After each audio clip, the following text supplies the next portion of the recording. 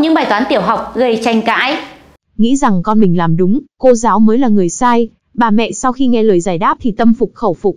Bài toán như sau, có 40 đứa trẻ cần sang sông nhưng chiếc đò mỗi lần chỉ có thể chở 5 người, hỏi cần đi bao nhiêu chuyến đò để chở hết số trẻ này qua bên kia sông.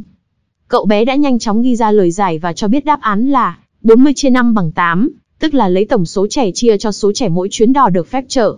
Đây là một lời giải không chính xác.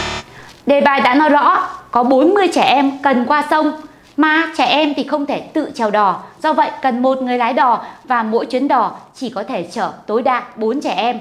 Do vậy, số chuyến đò cần là, chúng ta sẽ lấy 40 chia cho 4 bằng 10 chuyến đò. Và đây chính là một bài toán có tư duy toán áp dụng trong thực tế. Các em có ý kiến gì về toán này? Để lại ý kiến cho cô Hiền biết nhé.